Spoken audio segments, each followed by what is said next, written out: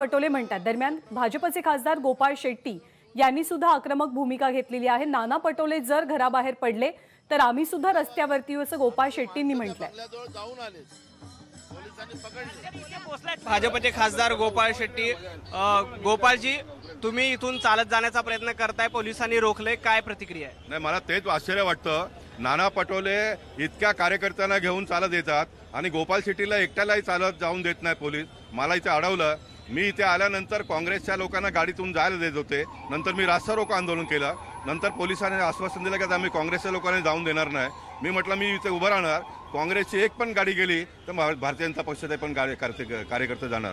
कॉ पोलीसवाल्यांनी पक्षपात करू करू नये. पोलिसांनी पोलिसांचा काम करावा. आम्ही त्यांना मदत करू त्यांना कॉपरेट करू. हे काय? नाना पटोले इतक्या लोकांना घेऊन इतक्या लोकांचा ताफा घेऊन चालतात आणि गोपाल शेट्टीला एकट्याला जाऊन देत नाही. आता तुमची भूमिका काय? आणि अशा प्रकारचा अन्याय होऊन देणार नाही. एक पण काँग्रेसचा कार्यकर्त्याला इकडला सोडला तर गोपाल शेट्टी परत रस्त्यावर बसणार. आम्ही ट्रॅफिक अडवू शकत नाही आम्ही लोकांना त्रास देऊ इच्छित नाही. पण पोलिसांनी जर आम्हाला भाग पाडलं तर मी परत रस्त्यावर जाऊन बसेन. एक पण काँग्रेसचा कार्यकर्ताही जायला नाही पाहिजे. आम्हाला अडवत आणि हा आंदोलन सुरू कोणी केलं? सत्ताधारी पक्षाच्या लोकांनी आंदोलन सुरू केलं. सत्ताधारी पक्षाचा काम आहे आंदोलन थांबवणं. आंदोलन करणं हे सत्ताधारी पक्षाचं काम नाही तुम्ही राजीनामा द्या ना. तुम्ही राजीनामा द्या आणि रस्त्यावर उतरा. तुम्ही सत्ताही चालवणार तुम्ही आंदोलनही करणार सर्व तुम्हीच करणार घोटाळे तुम्ही करणार गडबड तुम्ही करणार सर्व तुम्हीच करणार.